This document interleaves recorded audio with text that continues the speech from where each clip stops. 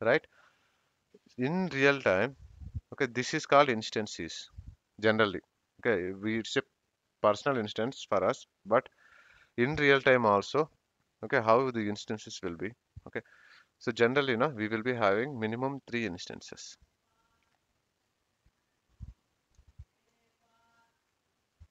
Okay one is dev instance next is test instance and third one is prod instance live instance whatever you call it is right?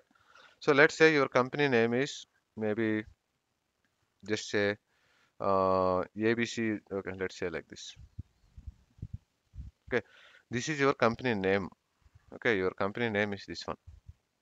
Okay let it will it will confuse you. Just give some company name your favorite company name anyone. TCS. TCS no? IBM. Deloitte. Deloitte. Okay, I will say AXA, Reliance. Reliance or AXA. Okay, why AXA is TCS is a service provider. They don't buy directly ServiceNow instances, no? but they will buy for AXA. AXA will be buying it, TCS will support it. AXA is a bank, right? Let's say we are working for this particular company. We are working for this project. Okay, so how you get these instances is company name. So the same like this. Okay, so you will be getting three instances in your live AXA dev dot servicenow.com. Okay, this is your dev instance. Okay, AXA dev AXA test is your test instance. Few people will also follow like a QA. Okay, it is same. Okay, and AXA dot servicenow.com. Right, like this, you will be having three instances, and this is the instance where everyone of the organization will log in. Okay, this point maybe first time people you will get confused, but let's end it here. Okay, in few companies they may have a separate staging one also. T- uh, along with the testing, they may have additional one called stage or something, test two or something. Okay, it is not compulsory for everywhere, but it is just maybe company specific.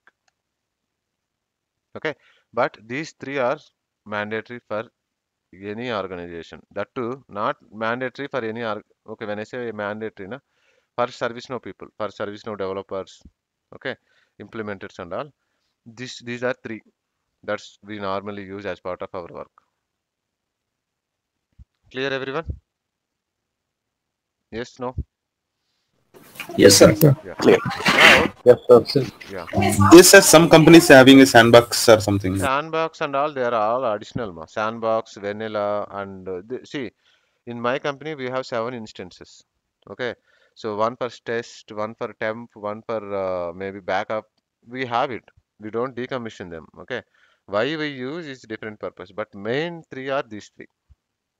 One we use it for backup, one we use it for uh, POCs, one we use it for something else. Okay, so that is the valid point. Okay, staging or uh, whatever you said, but primarily these three, which we need to note. Okay, in in these three, we will be doing all of our day-to-day activities. Right, Nama? Is that make sense? Yes, no? Yes, sir. Yes, sir. yes, sir. Yeah.